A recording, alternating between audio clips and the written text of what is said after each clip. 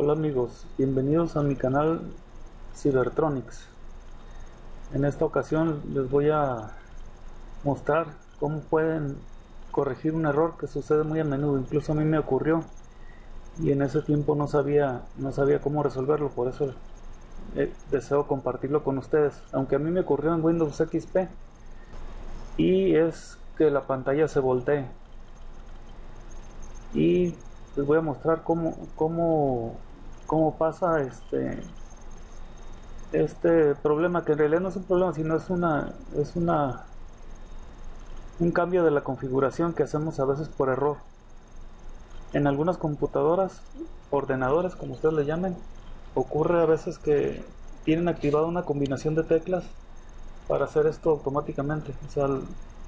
Y al querer combinar teclas nosotros para otra cosa por, por error le, atinamos a las que a las que hacen este movimiento de, voltear la pantalla. Eso es en algunas máquinas. En otras este tal vez lo podamos necesitar para algo tener la pantalla este, volteada. Entonces cualquiera que sea el caso aquí les muestro cómo, cómo se hace.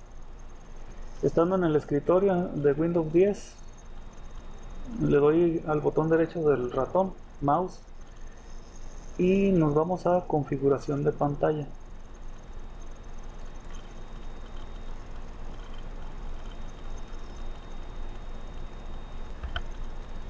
Aquí en configuración de pantalla pues tenemos bastantes opciones acá del lado izquierdo pero la que nos va a interesar en esta ocasión es aquí donde dice orientación. Y si le damos clic a la flecha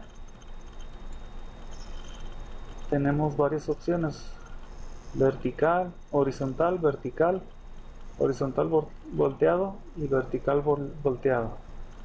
Entonces son todos los grados que se puede girar la pantalla, o sea, darle toda esto cubre este darle la vuelta completa a la pantalla de nuestro ordenador, laptop con Windows 10 en este caso. Entonces, para mostrarles un ejemplo de qué es lo que pasa cuando activamos esto le, voy a dar a la opción vertical. Y para que haga el cambio le doy aquí a aplicar. Y como pueden ver la pantalla se dio la vuelta.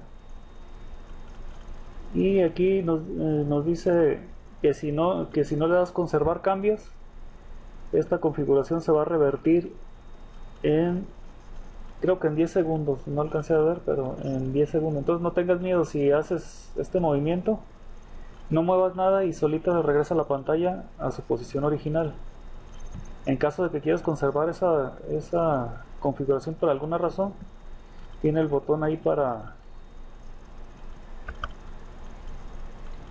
conservar cambios. O sea, le damos este botón y ya se quedaría la pantalla en esa posición.